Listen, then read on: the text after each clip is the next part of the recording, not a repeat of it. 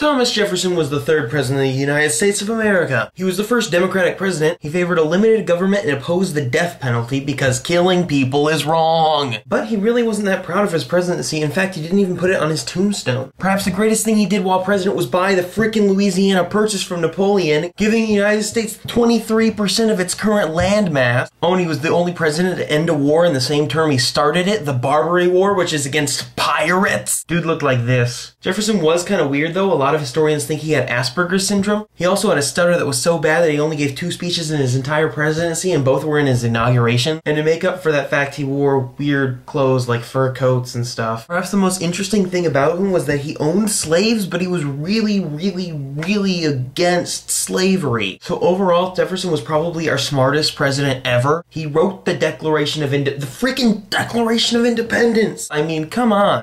Ah, Jefferson, you're so cool!